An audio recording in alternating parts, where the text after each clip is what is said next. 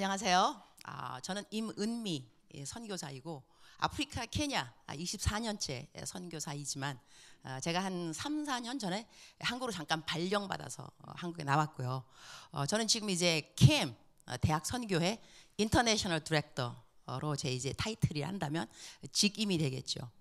그 이제 CAM이 뭐냐면 이제 Christ 아, Ambassador 그러니까는 그리스도 대사의 그 선교 아, 대학 캠퍼스 사역입니다. 마치 CCC처럼 대학교 안에 있는 그 캠퍼스 사역인데요. 제가 이게 캠 그 이제 내셔널 디렉터로 와서 이유 중에 하나가 뭐냐면 한국의 대학교 캠퍼스 보급률이 3%. 그다음에 그 기독 동아리 0.2%. 왜 이렇게 아, 젊은 사람들이 기독 동아리도 안 하고 캠퍼스에서 어, 대학생들이 전도가 안 되는가? 이유가 무엇인가? 저는 이제 각 캠퍼스를 이제 다니게 되었어요. 어, 다니면서 저희가 한 80명 간사님들이 계시는데 이제 사역하시는 캠퍼스마다 다니면서 이제, 이제 물어보는 질문 중에 하나가 아, 왜 애들이 어, 동아리 안, 안 오냐? 캠, 뭐 CCC, 뭐 어떤 그 기독 동아리 안 가는 이유가 뭐냐? 이유 중에 하나가 뭐냐면 스펙을 키우기 위해서 시간이 없다는 거예요. 스펙? 무슨 스펙? 그랬더니 이 스펙이 뭐냐면 그 제가 네이버 검색에 한번 찾아가 봤어요. 스펙이 무엇인가? 이것이 영어인가? 한국말인가? 스펙이 뭐냐면 학점, 학력, 토익 점수 이런 것들 다 취합해서 자기가 이제 직장 들어갈 때에 그걸 본다는 거죠. 그러니까 이 사람을 어, 내가 쓸 것인가 안 쓸 것인가 회사에서 볼 때 그러면 세상에서도 스펙을 본다 한다면 하나님은 우리에게 스펙을 보지 않을까 그런 생각이 들어요.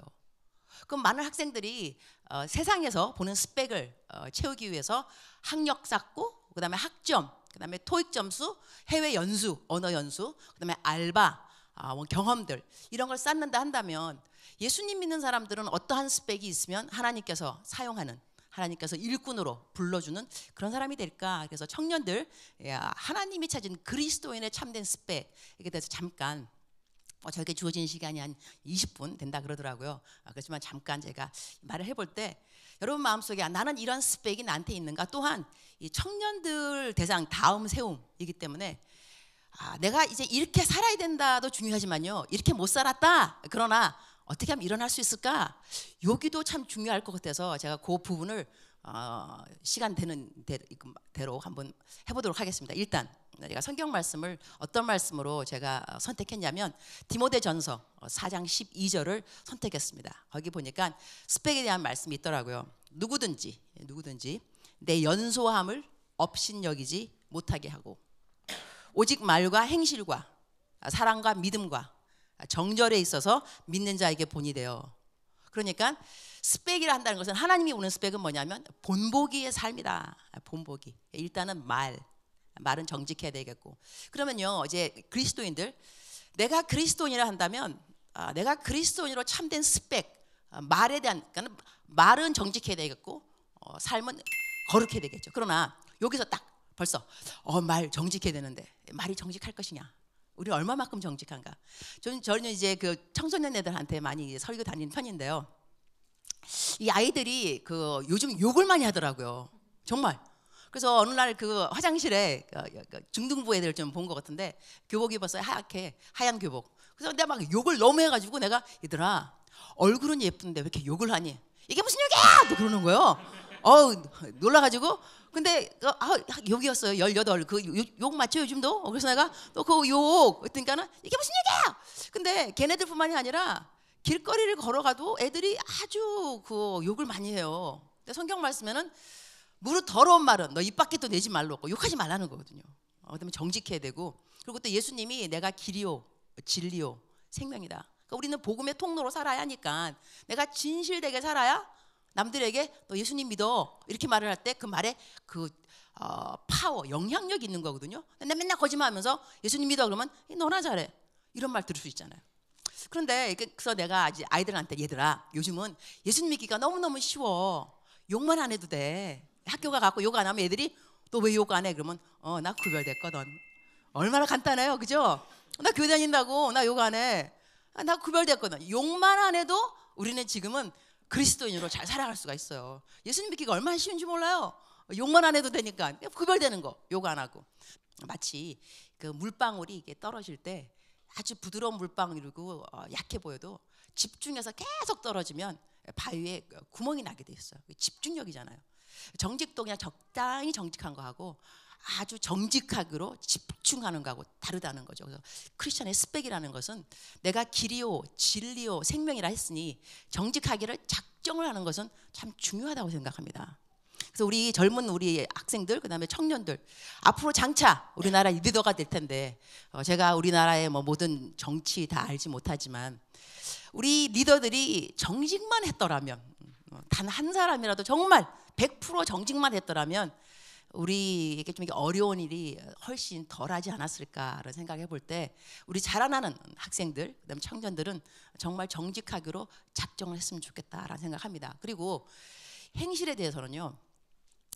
예수님 안 믿는 사람들한테 한번 물어보세요. 왜 예수님을 안 믿는가? 저 같은 경우는 그 기사님들 택시 타면은 전도를 보통 하는 편이에요. 그럼 여쭤봐요. 어, 기사님 교회 다니세요? 아니요. 그 이유가 있을 텐데요. 항상 이유가 뭔데요?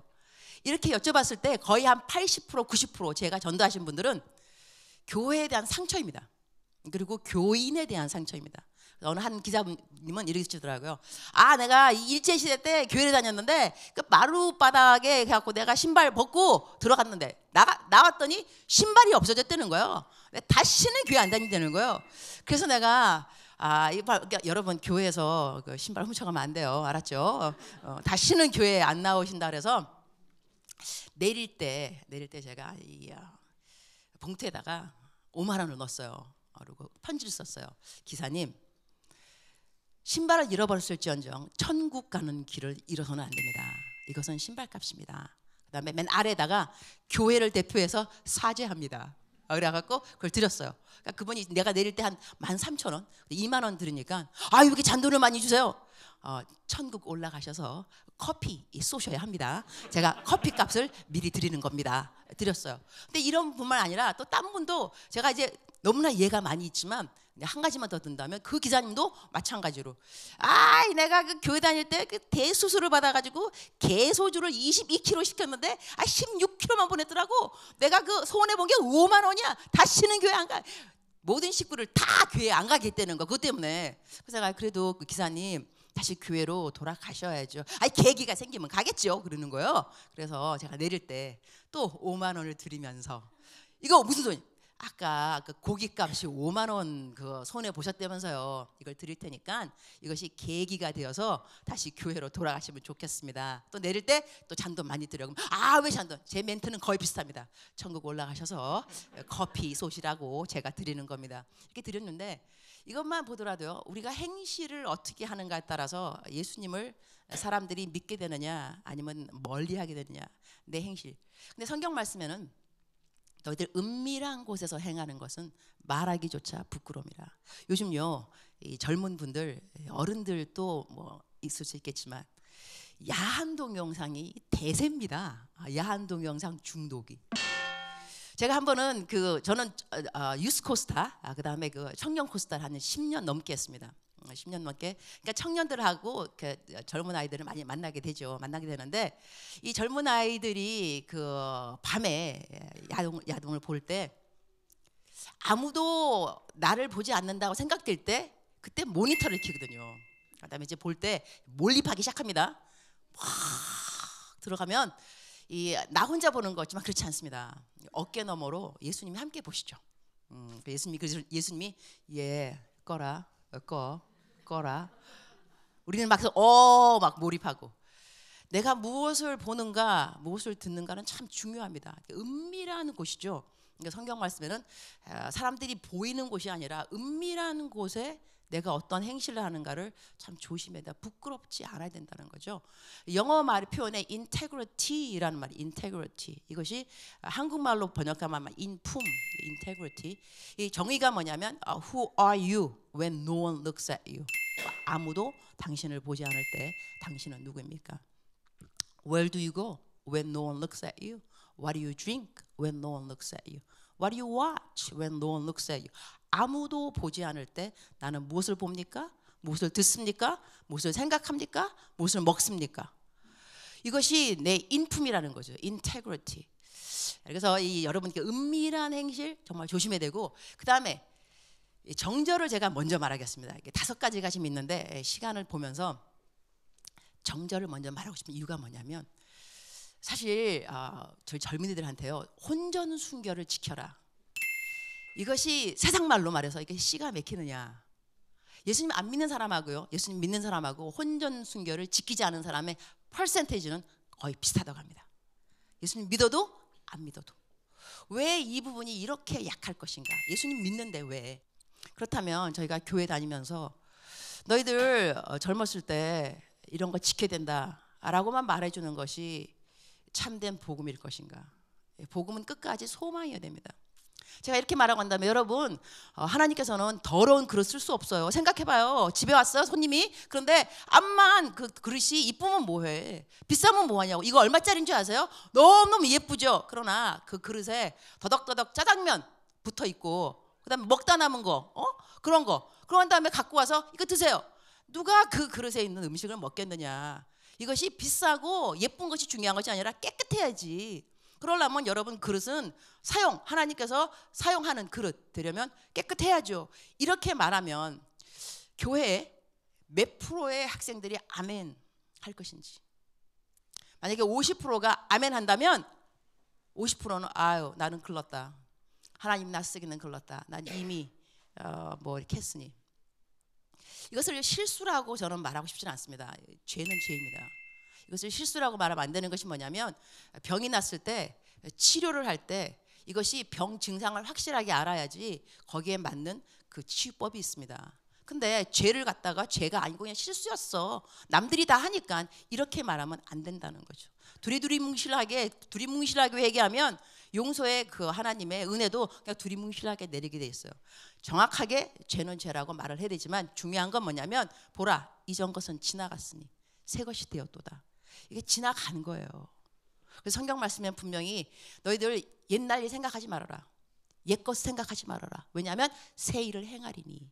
어떤 새 일을 사막에서 강이 나겠고 광야에서 길이 나리라. 여러분 사막에서요 강이 나고 광야의 기, 사막에서 강이 나고 광야의 길이 난다는 것은 기적을 말하는. 이 기적이 언제 생기냐면 과거를 잊어버려야 돼요. 그러니까 내가 어떻게 수치스러웠던지 간에 부끄러웠던지 간에 어떤 일이었던지 간에 그것이 내가 몰랐던지 믿음이 없었던지 어떻게 누구한테 정말로 쏘갔던지 하여튼 간에 옛날 것은 옛날 거잖아요. 그러면 하나님한테 쓰임 받으려면 어떻게 되냐면 하나님 나 깨끗한 그릇이에요. 이렇게 안 된다 한다면 하나님 이전 것은 지나갔으니 보라 새 것이 되었다. 믿습니다. 믿음이 필요합니다. 믿음이라는 것이 많은 사람들은 없는 것을 있는 것처럼 여기고 아 그래서 막 그러잖아 아 나 돈이 없지만 주님 믿습니다 돈 있습니다 있습니다 아, 좋아요 이것도 없는 것을 있는 것처럼 여기는 것도 믿음인 것이 사실인데 있었던 일을 없는 것처럼 여기는 것도 믿음입니다 그래서 우리 젊은 애들한테는 필요한 것이 뭐냐면 아 내가 이런 일이 있었지만 이 부끄럽지만 수치스럽지만 너무 창피하고 그리고 무섭지만 아 이거 내가 잊어버려야 된다 이것이 우리가 지금 아, 젊은 아이들한테 다음 세움, 네, 그들을 세워주기 위해서 소망이 필요하지 않은가. 그리고 하나님께서는요, 저희들을 쓰실 때, 아, 정말로 어, 그 이전 것은 지나갔는데 새 것이 됐다는 믿음을 가지고 주님, 나는 앞으로 사용 받고 싶어요. 어, 하나님이 나 근데 같은 나한테 잘못된 것이 왜 없겠어요, 하나님은. 그러나 앞으로도 잘못된 것이 있을 수 있겠지요. 그렇지 않겠어요? 그래서 이 젊은 사람들하고요 어, 어른들하고는 그 방향이 조금 틀린 것 같습니다. 스펙에 대해 말할 때도 뭐냐면 어른들은 넘어지지 않도록 노력해야 됩니다. 왜냐하면 여러분 보세요 할머니들 나이 드신 분들은 넘어지면 회복이 느려요. 한참 걸려. 그러나 애들은 넘어지면 뿔딱뿔딱 일어나서 회복도 빠르고 또 뛸 수 있어요. 그러니까 아이들한테는 어떻게 빨리 일어나는지를 알려줘야 돼요. 넘어져도 얘야 괜찮아. 하나님께서 너를 끝까지 도와주실 거야. 너를 홀로 두시지 아니, 아니실 거야. 그래서 너 할 수 있어. 이렇게 되고 어른들한테는 넘어지면 안 됩니다. 어찌하든지 넘어지면 안 됩니다. 왜냐하면 다시 못 일어날 수가 있어요. 어른들은. 아, 그래서 마지막으로 예화 하나 하면서 제가 마치도록 하겠습니다. 제 딸이 11살 때 이제 그 가수가 되었어요. 가수가 되어서 11살 때 그래서 아주 아프리카에서 그 어, 아이돌 아프리카 아, 제 딸이 이제 아프리카에서 자랐으니까 그랬는데 대학교를 가면서 나한테 엄마 나 이제 또 찬양 가수 안 할 거야 그러는 거야. 찬양 가수를 왜 안 해? 어, 찬양 가수 하면은 나가서 멘트를 할 때 여러분 이렇게 살아셔야 돼요. 뭐 이렇게 해야 된다는 거예요. 이렇게 삽시다. 근데 나못 살아. 그래서 나 찬양 이제 안 한다는 거예요. 그래서 얘야 그 리더에는 두 종류가 있는 것 같다. 첫 번째 여러분 그렇게 못 살죠? 저도 못 살아요. 어쩌면 좋아요. 흑흑흑 이런 리더가 있다. 아, 두 번째 리더 여러분 왜 못 살아요? 나를 보세요. 내가 예수 그리스도를 본받아 사- 살아가듯이 여러분도 살 수 있어요. 이런 리더가 있다. 자 첫 번째 너, 두 번째 리더 엄마. 아, 그런데 너 너 나이하고 내 나이를 좀 따져보자. 네가 몇 살인지, 엄마가 몇 살인지. 내가 너 나이 때는 말이다. 엄마 인생이 이 개판이었어. 도구 테이블. 개판. 어? 아, 그러다 하나님이 도와주셔가지고 엄마가 새롭게 되어서 훌륭한 리더가 되었단다. 너가 나중에 엄마 나이가 되면 사람들이 물어볼까? "헉, 와 어쩌면 이렇게 훌륭한 리더가 되셨어요. 젊었을 때 유혹이 없었나요? 젊었을 때그 방황이 없었나요? 너가 이러겠지. 아 왜 없었겠어요? 어떻게 다 이겨내셨나요? 너 이렇게 대답할 거야. 저희 어머니께서 저를 믿어 주셨습니다. 얘야, 나는 너를 믿는다. 너를 믿는다. 우리 어른들이 다음 세움, 우리 학생들을 바라볼 때 사실 외계인들입니다. 이해가 가지 않습니다. 뭐 청소년들을 이해한다?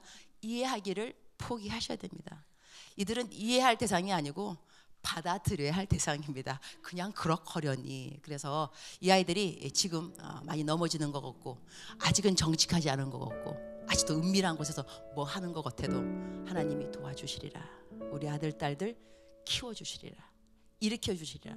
그렇게 믿는 믿음들이 저희 어른들에겐 필요하고 우리 아이들에게는 얼른 얼른 청년들에게는 일어나는 일곱 번 넘어질지라도 다시 일어나거니와 저희들은 의인들은 7천 번 넘어져도 7천 한 번째 일어나야 됩니다.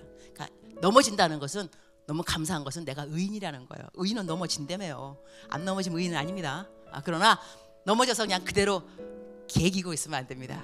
나쁜 말 같은데 그냥 그대로 있으면 안 되고 일어나셔야 돼.